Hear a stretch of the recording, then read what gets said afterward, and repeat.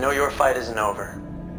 Be the first to know the latest updates, breaking news, and mind-blowing insights about your favorite movies. Subscribe now and become a true movie spy.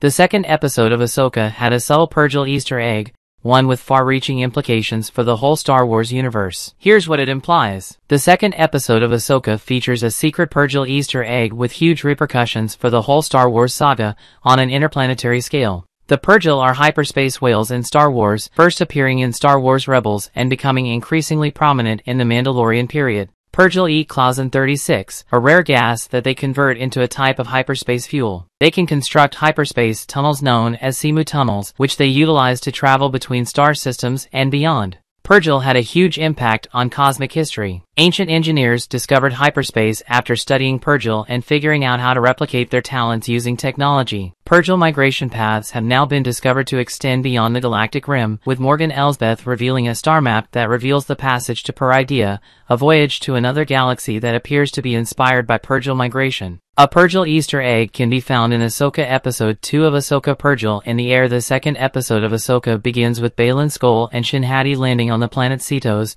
near the ruins of some type of edifice built by ancient aliens that journey to this galaxy from another. This is referred to as a reflex point, a location where the star map may be input to determine an exact route to Peridea, the remote location where Grand Admiral Thrawn is trapped. When Baylan looks up at the skies, he notices figures moving in the clouds, a flock of Purrgil. What the Purrgil flock of Ahsoka means for Star Wars Purrgil is dwarfed by Din Djarin's N-1 spacecraft in hyperspace in Season 3 of The Mandalorian. But this isn't just another Star Wars Easter egg. It confirms Seatos, the starting point of the trip to Peridea, is on a Purrgil migratory route. Given that, there is clear proof that the hyperspace passage across the galaxy does indeed follow the Purrgil's track. Even with the Eye of Sion, Morgan Elsbeth's voyage will be dangerous. Purrgil constitute a navigational hazard to ships in hyperspace since they may easily draw too close and damage them. Meanwhile, this feature increases the likelihood that every visible planet on Ahsoka's star map represents a Purrgil's migratory path. The planets in Ahsoka's end credits may be found all throughout the Star Wars galaxy map, from the core worlds of Coruscant and Corellia to the more isolated planets of Dathomir and Seatos. Many of the systems feature gas giants. Yavin is a gas giant, while both the Mandalore and Dathomir systems have gas giants and legends.